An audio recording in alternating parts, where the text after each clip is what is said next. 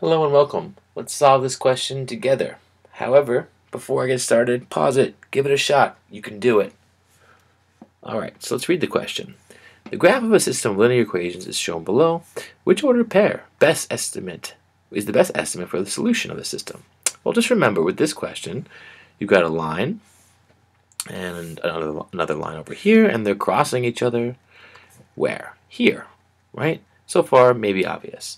However, what a lot of people confuse is the idea that, oh, this point where they cross is actually what's called the solution of the system. In other words, it's the solution for both lines because every point is a solution for a line, and this point is on both lines, so it's the only solution for both equations or both lines.